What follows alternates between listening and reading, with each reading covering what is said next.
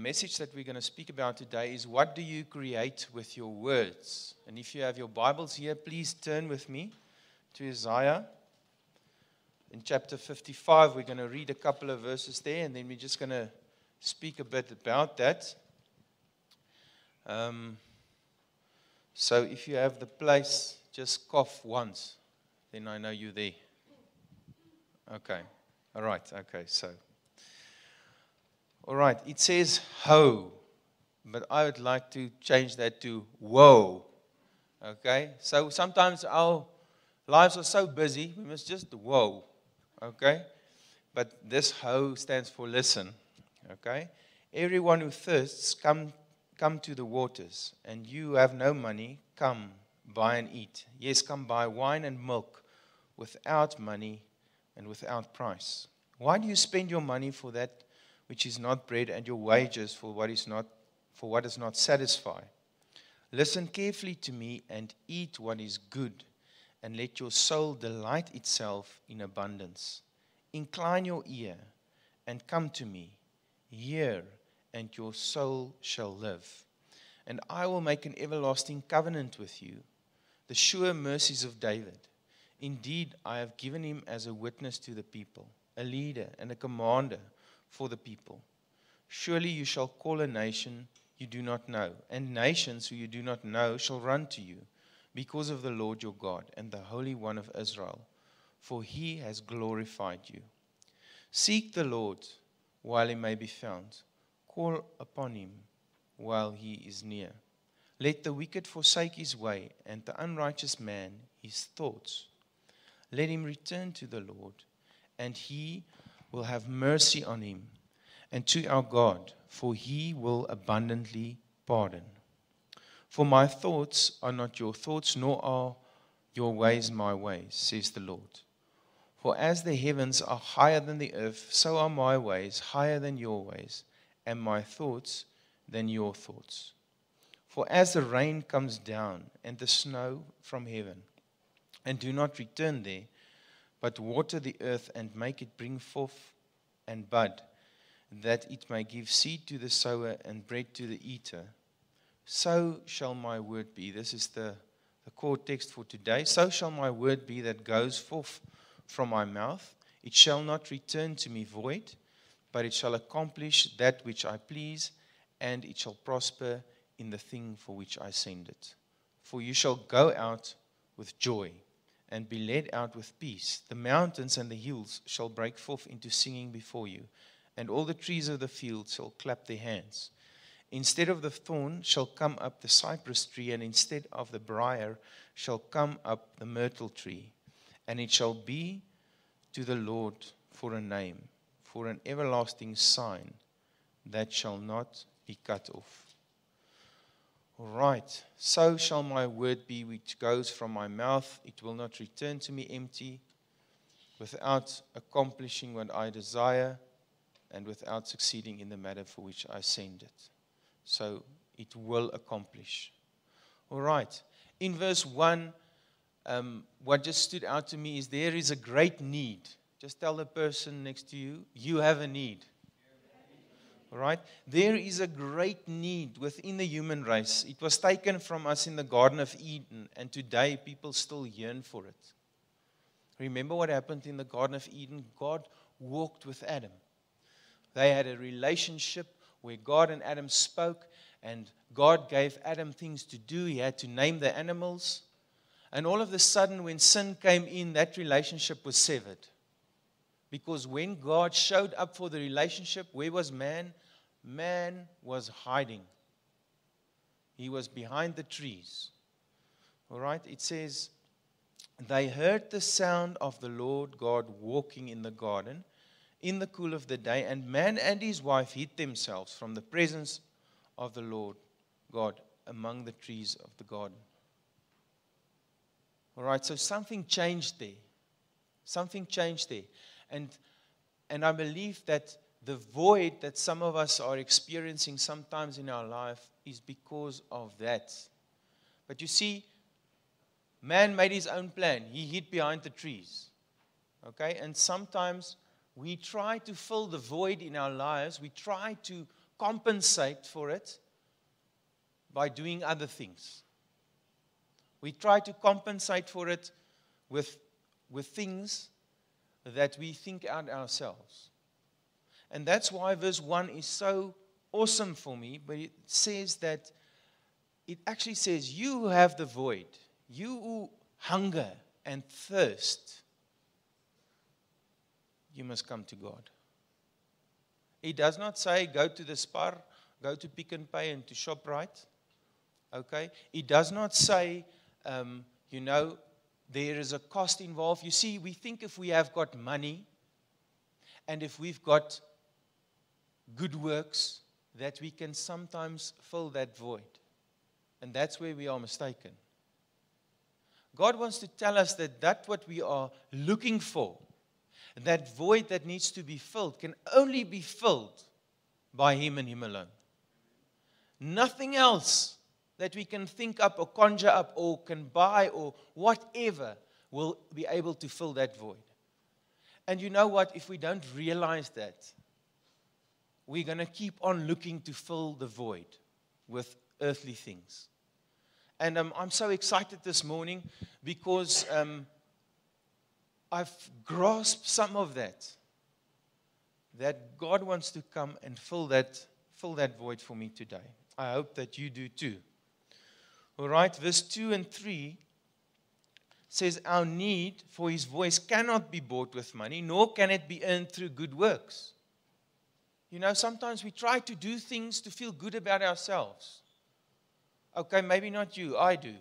Okay, we, we try to do things. We give money for good causes. We, we're trying to be a good person because we believe here in the back of our minds that that will make us happy. It doesn't. All right, we're still going to have that void. We must listen carefully and attentively, and then fulfillment comes. A fulfilling that fills the voids in us, a joy, a contentment. We must purposefully position ourselves to hear His voice. We must purposefully draw close to him. Do you know that scripture that says, Draw near to me and I will draw near to you? All right? God is waiting for us. He's waiting for us to grasp this hidden and not so hidden, but sometimes difficult to understand. He's waiting for us to grasp that. You know, the prodigal son, when he when he tried to fill the void, when he, when he went away, when he got his inheritance and he went to a far off land and bought himself a BMW and got some friends and drank a lot and hang out. Okay, that's not what he did, but okay. He tried to fill the void, but then in the end, he grasped that he cannot fill the void with earthly things. He cannot fill that void with money and all these things, relationships, and by doing certain things, he can only fill the void when he returned to his father. Because he realized, he didn't realize what he had lost. And the other brother, what that was staying there, all right, he also had a void. Because when his brother returned, he's like, hmm, now why is father so glad about him? And why I was I was being polite. I was working and I was giving myself and, you know, I was here, but he also had a void. When the brother came back, he said, You've, you've never, you know, even given me something. And his father said, Everything that I have is yours. He didn't even realize that he had a void in his life, that empty space that we so desperately try to fill with things. And I'm so excited because I want you to come with me and understand that nothing on earth will be able to fill this void. And we sometimes hide behind things. We, we so desperately try to fill that void, try to, to, to, to feel good about ourselves by doing certain things. But God is making an invitation today, and He says, Come here. Whoa. Ho. Whoa. Come. Come to me because therein, in our relationship, your void will be filled. You will have fulfillment. I don't know if you want that or not, but I desperately want that. I want that fulfillment. Even in the midst of circumstances. You know, I'm, I, I've got a little, uh, uh, I won't say it's a, it's something that's holding me back sometimes. Perfectionism. You know, if I, if I come home and the grass is not cut neatly and the kids haven't done their chores, so it means that there are business, doggy business all around, and you know, then I don't feel happy. I, I want it to be perfect, and if it's perfect, if it's clear and it's cut neatly and it's watered, then I feel I'm not always in the position to have it like that. But amidst all those things, I must find fulfillment in His Word. Those are nice things if you can have it like that. In our places of work, not everybody is doing the things that we think they should do. But if we allow that to determine how we're going to feel, we're always going to be unhappy because it will never be perfect. People will never be perfect. Our situations will never be perfect. And that's why Jesus makes this invitation come to me. Find your fulfillment with me, then you will be able to enjoy all the other things. All right, verse 6. Make use of every opportunity to seek the Lord and to draw near to Him. Make use of every opportunity. Every Sunday, the church just gives you two or three opportunities. All right? But you must make use of that opportunities, which, which some of us don't make use of that often. Preaching to those that are not here. Obviously, you made use of that opportunity today. All right? But cell groups, there are lots of opportunities that we can use to draw near, to draw in which we don't because we've got a social life, you know, meeting up with the guys, you know, going, doing some shopping or window shopping. All right? We've got such a priority, priority twist, twist, twisted priorities that we sometimes fill our lives up with all these other things that needs to happen but we don't make the time to go to the water. We don't make use of those opportunities. And I don't know about you, but I want to make use of that opportunity.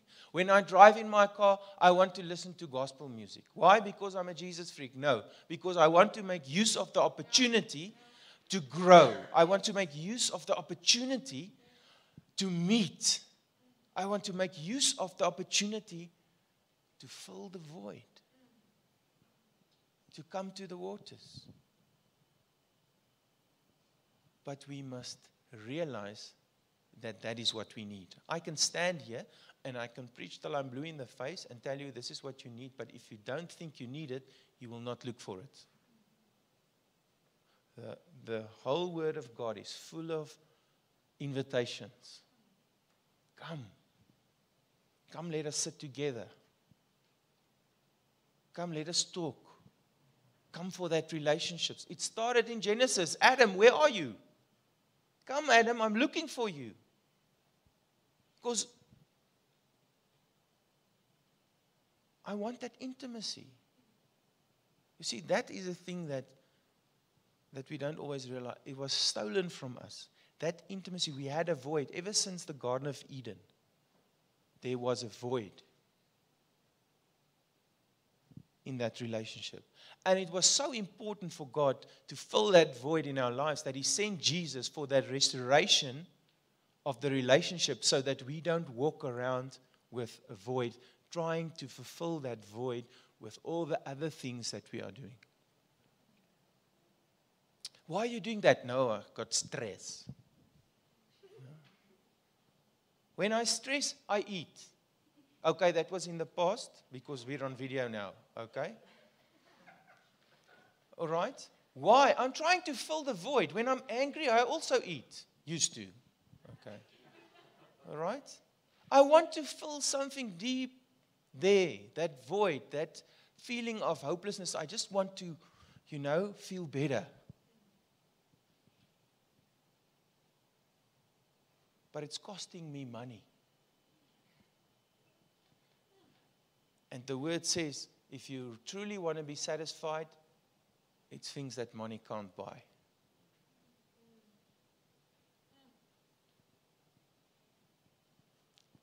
So that's why I'm so excited. I'm going to be fulfilled and it's not going to cost me a cent. All right? It's just going to cost me to draw in, to, to, to draw near to God. He is waiting. He is waiting. He is waiting for me to get that revelation. He's excited when he looks at me. And sometimes when he sees me, maybe walking across the street to a certain place to buy something, he is faithfully hoping and believing that I will get that breakthrough. And I believe it's because my wife's also praying for me, but that I will get that breakthrough in realizing only Him, Him alone. Nothing else. Nothing. And because we don't, we say it and we think that we believe it, but it is shown in our actions. Okay? So if I really believe what I'm saying right now, it means that my life will change.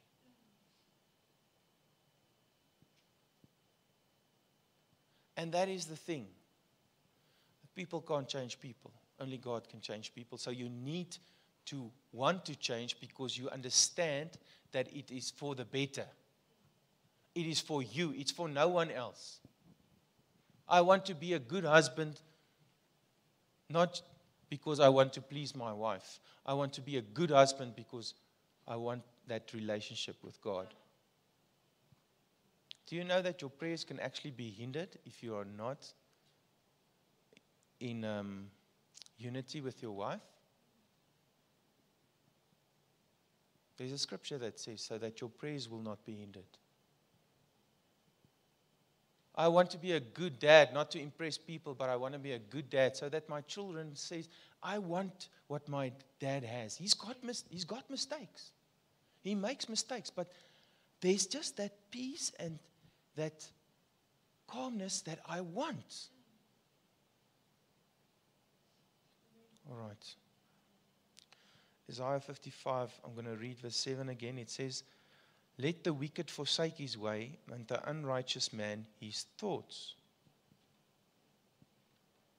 So everything begins with a thought.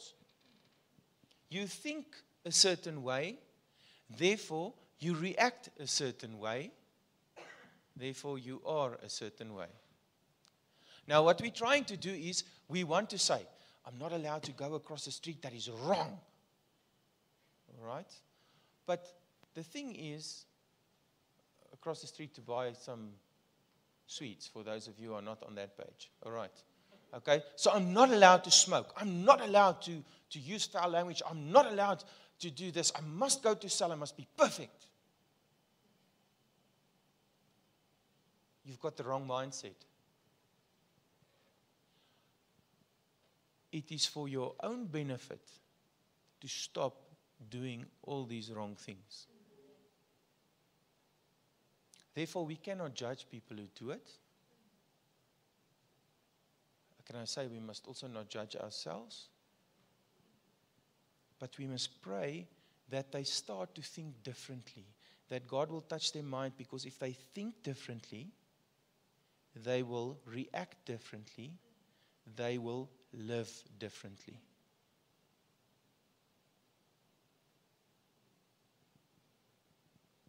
Sometimes we don't understand why we have to go through certain processes. My child doesn't understand sometimes why I give him a hiding. But one day, he will realize that I helped him. And one day, he will thank me. because then his mindset will start to change. So, what we are addressing this morning is God is making an invitation. He says, I know that you have a void. It doesn't matter who you are. If you're human, you have a void. That is only fulfilled in relationship with me. So that, that is why we must feel sorry and feel compassion for other people that don't know the Lord. We mustn't just evangelize because the church say we must do it and the Bible says we must do it. I'm not saying don't evangelize. I'm saying trust the Lord for your mindset to change so that you can have a passion for the lost.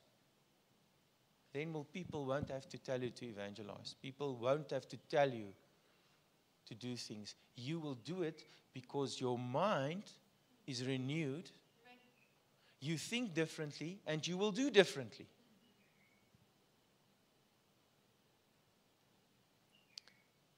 I was on the farm, preached there in Afrikaans. Then I had a lot to say, you know, because I wasn't nervous.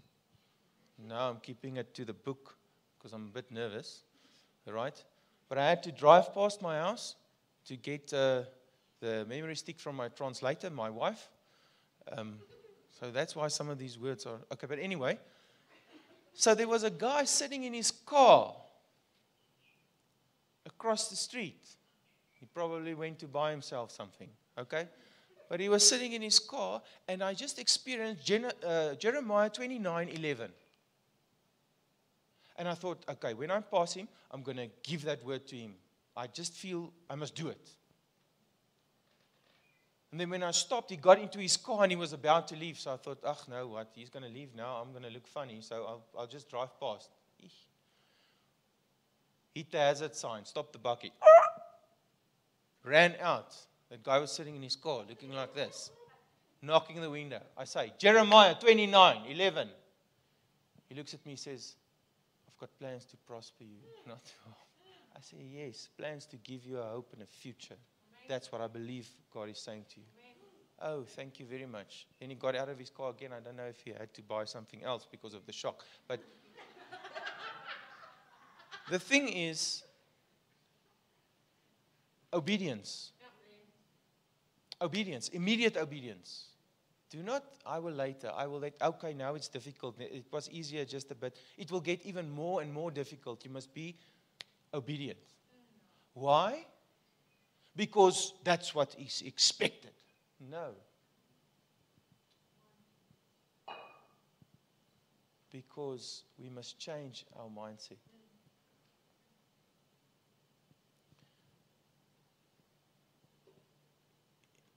You know, something that is that really stood out. Sometimes when we have conflict with people, we want to tune them. Oh, I want to tune some people. Oh, I sometimes just lose it and I just want to shake them a bit. But I'm so challenged. You know, you wear this this bands that say I, I can't because I'm old and then it will okay, but young people, wear people like you, wear these bands that say uh, WW JD. What would Jesus do? Would he shake someone and say to him some disturbing words? All right? Would he wish harm on someone and say, you know, I hope you get a pain in your gluteus maximus? All right? That's not the heart of Jesus. So when people look at us and they see how we react towards our enemies, they're supposed to see that we're Christian. They're supposed to see Jesus in us. When I give my child a hiding, when I take him to the bathroom, he's supposed to see Jesus in me.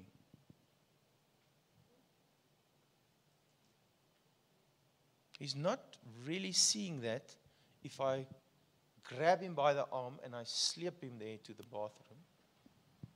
And I throw him down there.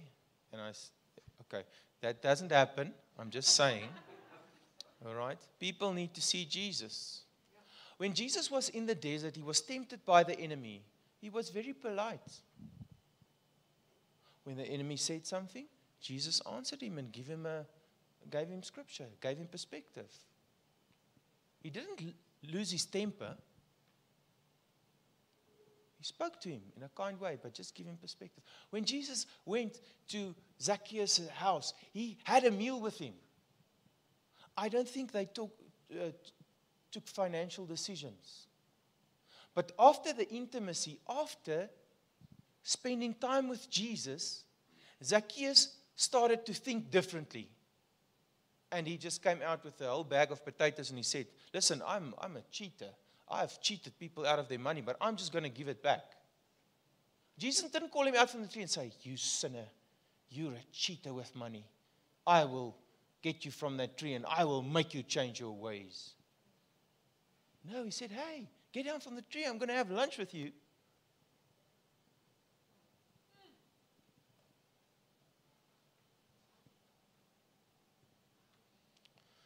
All right, begin to think differently and act differently. Turn back to God. He forgives. He is merciful and wants to forgive. He is waiting you to seek Him. So I know I'm preaching to the wrong crowd, and you're supposed to be okay, all of you. But maybe there's one situation in your life where you are struggling to surrender. Maybe you're hiding it behind the tree like Adam did. And maybe you're hiding your girl also behind the tree like Adam did. Okay? Maybe you're keeping something in the dark because you're afraid of what's going to happen. So I want to invite you today bring it before the Lord. Just imagine, I can just imagine that young man deciding to turn back to his father, knowing what he have lost in the relationship with his father, the, the, um, the prodigal son, wanting back that relationship which he had, where he, where he, where he felt at home.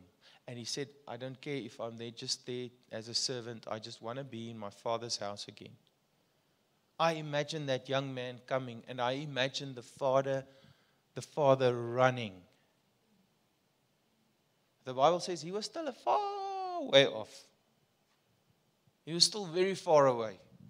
Are you feeling far away today? I've got news for you. Jesus is a champion runner. The Father is a champion runner. You just have to take two steps or one step, and the word says He'll come running for you.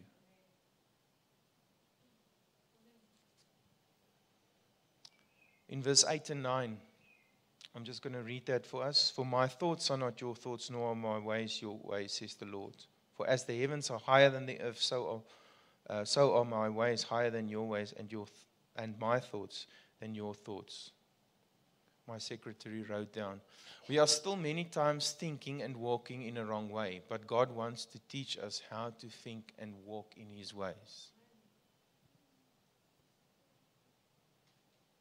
See, I was always thought this thing of, come, all of you who are we- uh, weary, come to the waters.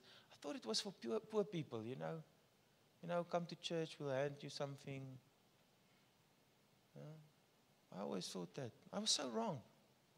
Huh? Can I be so wrong? It's an invitation to receive that from God which you cannot buy. Not with all the money in the world. You cannot. It's an invitation to just come receive that because it's the only place where you can find it in His presence.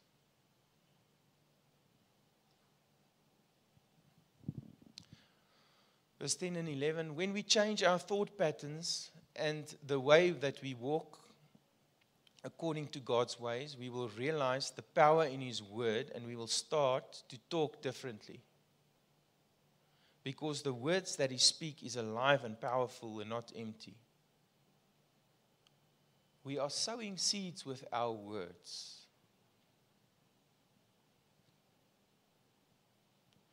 If I hear somebody using foul language and I tell foul, foul, if somebody speaks chicken, if somebody is using foul language, okay? Somebody speaks chicken, and I tell them to stop. That person might stop, but tomorrow he will still continue. But if that person has got a revelation of why he must stop, He will stop. If I have the revelation why I can't eat steak the whole time and why I must eat some of my wife's tuna sly, tuna salad, I will start eating that salad without her having to force me and look at me and look at the kids and just throwing me the eye and saying, The kids has got this tuna sly, this tuna salad, and they're looking at you, you better eat yours.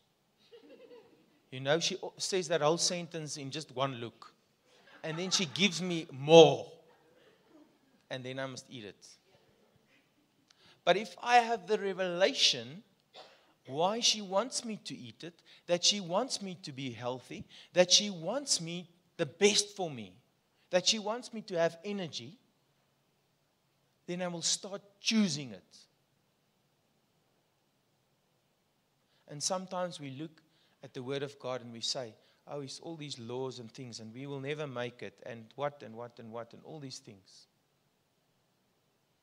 But if we understand and we got a passion for the word and we understand these things, not that we understand everything, but we get a revelation of why God is saying this in the word. Why, out of all the books,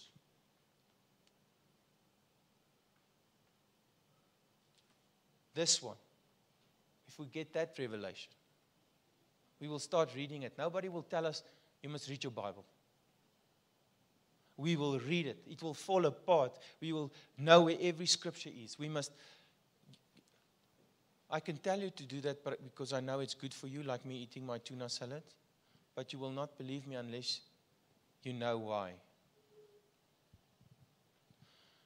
So that's why I'm very excited. But it seems to me like I'm not excited enough. Okay, so I'll go on. All right? Verse 12. When we change our lifestyles to embrace God's ways and apply His word in our lives, we will experience His joy and we will experience His peace in our decisions. You can just write down Ephesians 4, verse 6 and 7. I'm going to read it.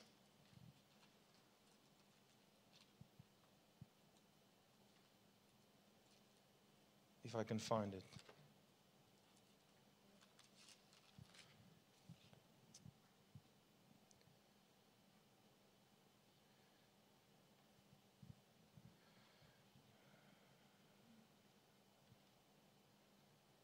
I don't think my secretary had this one, right? No, she didn't. Maybe it's Philippians, yeah.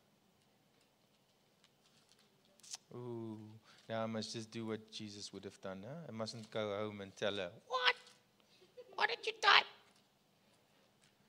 I think it's Philippians. I know it's Philippians, sorry.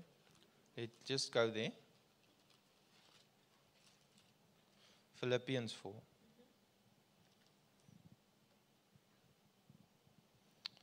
Be anxious for nothing, but in everything by prayer and supplication with thanksgiving, let your requests be made known to God, and you will receive everything that you want and all your requests. And does it say that? Uh, you see, you didn't turn with me to that scripture. Uh, it doesn't say that. But it what, it, what does it say? It says, And the peace of God, which surpasses all understanding, will guard your hearts and your minds.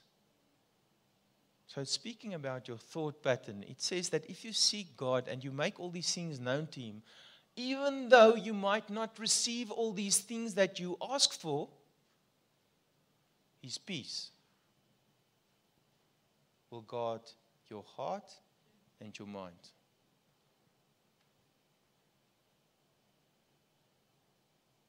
His peace. Sometimes, you know, we think that, you know, if we're Christian, nothing ever bad happens. Mm. Two of you found out the hard way that stuff still happens. It does. Okay, but in those situations, in all those things, His peace will be there. His peace will be there. And that is my prayer. In verse 13 of Isaiah 55, it says, Um, now I've lost my page there. What does it say in, in, in 55, verse 13? What does it say?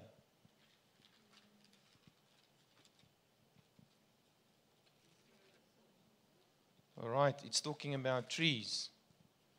And it says instead of all those other trees growing, found it, instead of the thorn shall come up a cypress tree, and instead of the brier shall come up a myrtle tree, and the Lord, and it shall be to the Lord for a name and for an everlasting sign that shall not be cut off. Remember, I said a while back that your words that you speak are like seeds. All right? So you've spoken the wrong type of language because of your wrong mindset, because of not spending enough time, or a person, not you, all right? And now you're 23, 24, 30, 31, 40, and all of a the sudden there's these big trees coming up, and you don't know where they come from. All of a sudden it's this huge thing that's in your life, and you don't know what happened. Okay, and then we start to blame others. Also from Genesis. Adam said, No, it was Eve. Eve said, No, it was the snake. All right? Who took the fruit? And who ate it? See, we must take responsibility for our words, but it says now that God will forgive us. And instead of those trees, new trees will come up. But I want to plead with you to start today to sow the correct seeds so that the right trees will be able to come up and we trust God together that the bad trees will be uprooted. And we start from today speaking seeds, speaking what God is saying, not because Pastor Emile preached it and it was in it was in his sermon. We start to challenge our mindset. We change our mindset. And because our mindset is, going to change, by the grace of God, our actions will start to change and our words will start to change. And when those things are in place, then we will, the right, the correct trees will come up. So it's not a thing of you will, you will not. But it is also a thing of you will, you will not. Because when a child is small, you can't explain to him. You must more discipline him. But when he's big, the same rules apply. But now, because he understands the rules, he obeys them.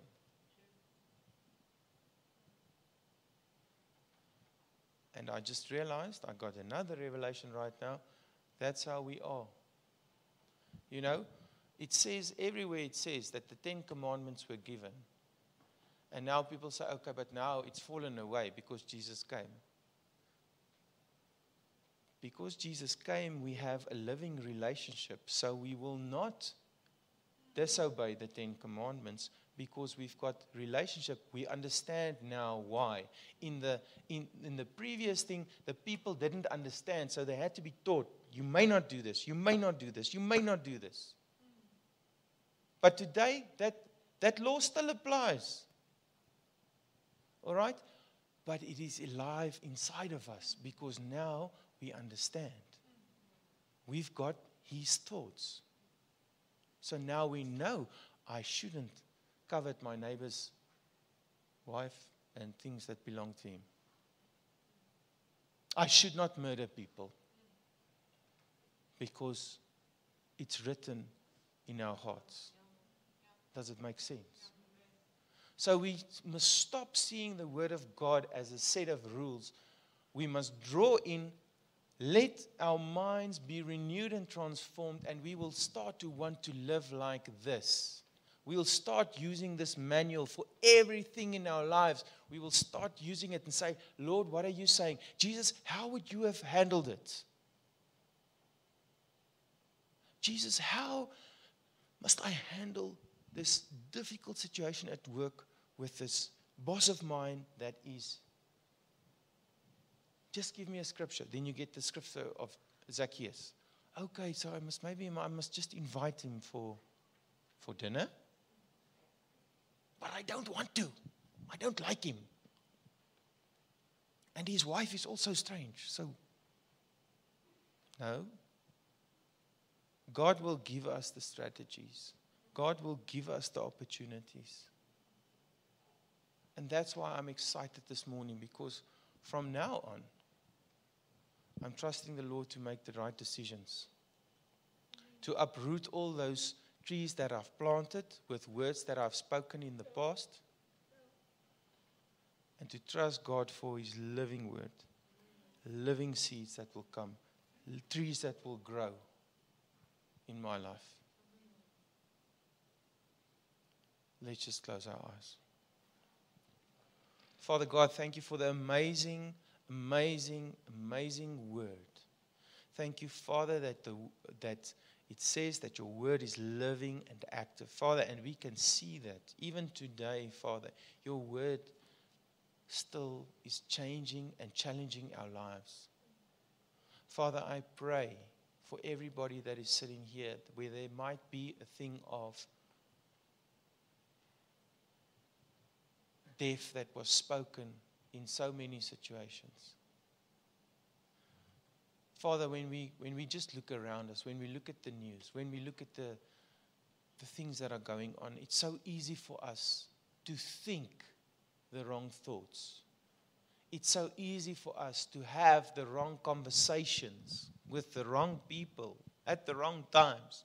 It's so easy. But I pray, Father God, that you will touch each and every one this morning that says, I've got a void.